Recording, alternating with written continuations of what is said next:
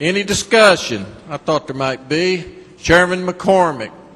Thank you, Mr. Speaker. I originally signed this conference committee report to make it unanimous, and then I unsigned it, as you may have seen on your paper there.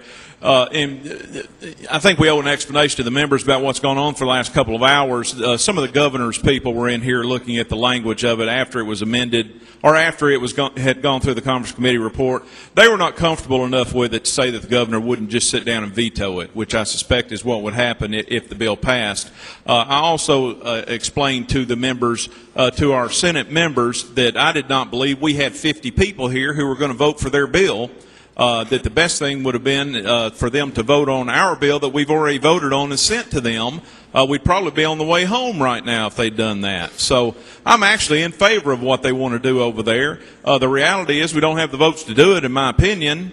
And uh, and that's why I didn't sign on to this. In addition to the governor's staff uh, a few minutes ago indicating that they didn't think uh, the governor would be too pleased with it either. And I really don't want to come back in ten days for a special session to override him on this. Thank you for the time, Mr. Speaker and members.